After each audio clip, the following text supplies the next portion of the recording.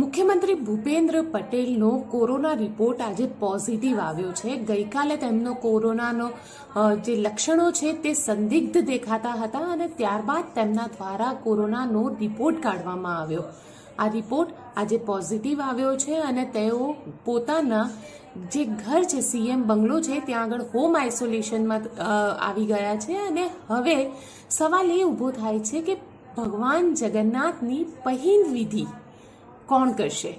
માનવામાં આવી રહ્યું છે કે ભગવાન જગન્નાથની પહેન વિધિ, જે કેબિનેટમાં સેકન્ડ રેન્કના મંત્રી એટલે કે રાજેન્દ્ર ત્રિવેદી દ્વારા કરવામાં આવશે, પરંતુ એકસો પિસ્તાલીસ વર્ષ જૂની ભગવાન જગન્નાથની જે પરંપરા છે, તે પરંપરા આ વર્ષે તૂટી જશે.